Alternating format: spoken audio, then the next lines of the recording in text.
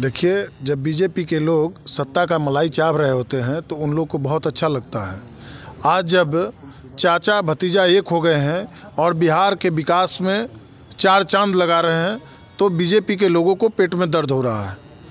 आदरणीय नीतीश कुमार जी एवं हमारे बिहार के भविष्य युवा मुख्यमंत्री तेजस्वी यादव जी के नेतृत्व में लगातार बिहार आगे बढ़ रहा है और बिहार के हर एक ज़िले में जाकर करके चाचा और भतीजा लोगों की समस्याओं का समाधान कर रहे हैं तो भाजपा वाले के पेट में दर्द हो रहा है।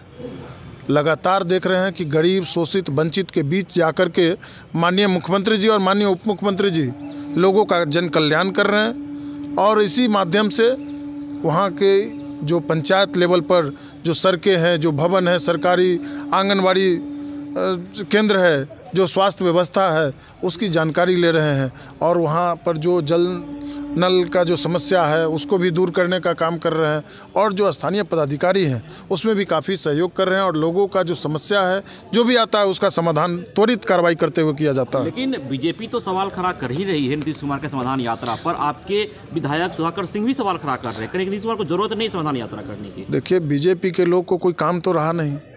अब उन लोगों को फिजूल की बातें करना है बस। जब सत्रह वर्षों से माननीय नीतीश कुमार जी के साथ मिलकर करके वो सरकार में शामिल थे मंत्री बन के सत्ता का मलाई चाप रहे थे तो बहुत अच्छे थे। तब नीतीश कुमार जी अच्छे थे आज खराब हो गए क्या?